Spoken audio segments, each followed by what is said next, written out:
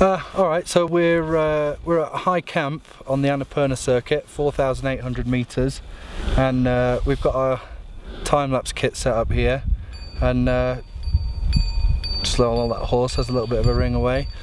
Um, just thought we'd have a little chat about just what we're using for this, and it's it's a mixture of stuff. Um, these travel tracks from uh, Revolve are absolutely stellar. They're really good. In fact, I've got the bag here. They pack down into this little bag and they're, they're really light and they're really versatile.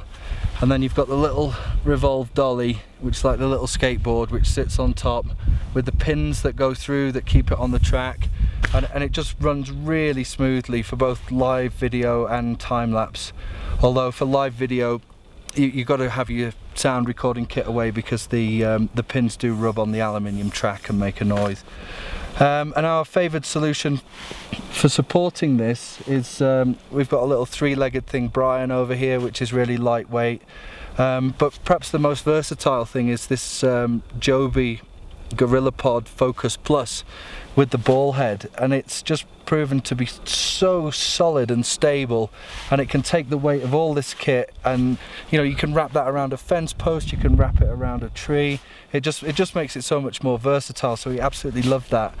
And then uh, on the revolve dolly we've got um, the Syrp Genie which again is a really nice piece of kit and that's then hooked up to the to the 5D Mark III and uh, it's the Revolve ball head Pro I think it's called on top of there which to be fair for the price is is actually pretty good.